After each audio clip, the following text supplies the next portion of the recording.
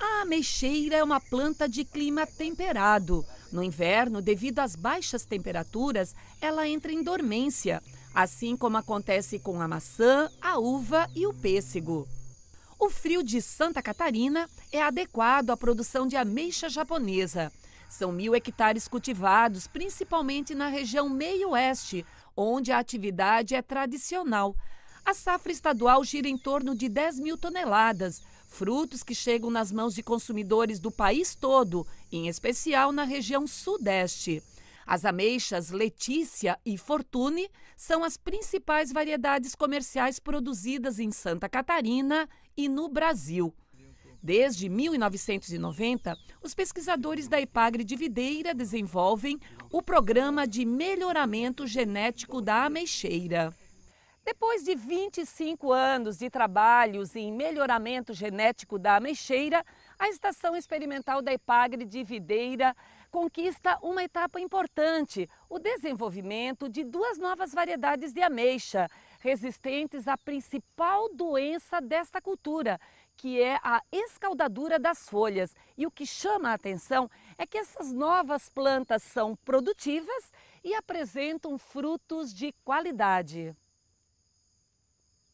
As duas novas seleções de ameixa, a SC13 e a SC15, ainda não têm nome comercial. São plantas que trazem a garantia de o produtor não enfrentar o problema da escaldadura das folhas, uma doença que já dizimou pomares inteiros. Essa então é um sintoma da escaldadura das folhas, né, causada por uma bactéria chamada Xilela fastidiosa. Inicia agora no mês de janeiro e, e vai aumentando esse sintoma de queimado, por isso vem o nome de escaldadura, uh, e leva a as plantas começam a ficar debilitadas com o tempo, né? E acabam perdendo produção. E aqui é, elas evoluem para secamento das, dos ramos, né? Quanto, como é uma bactéria que entope os vasos controle de xilema, quanto mais longe na planta, mais difícil a circulação de seiva e vai acabando secando a ponta dos ramos. Né? Dalbon, me fale um pouco dessas novas as seleções de ameixeira que vocês já têm, já têm uhum. hoje aqui na estação. Ambas têm qualidade muito boa, são competitivas no mercado e tem como grande diferencial essa resistência à doença. SC13 amadurece em dezembro, né? É uma época muito favorável que a venda de frutos é maior por causa dos feriados final de ano.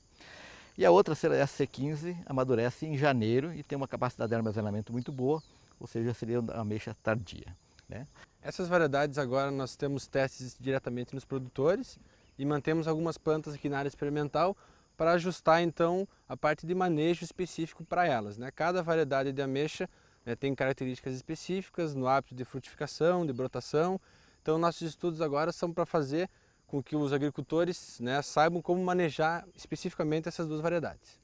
Para comparar o sabor, o aroma e a capacidade de armazenamento das duas novas ameixas, a Epagre de Videira realizou uma etapa importante no trabalho da pesquisa, a análise sensorial dos frutos.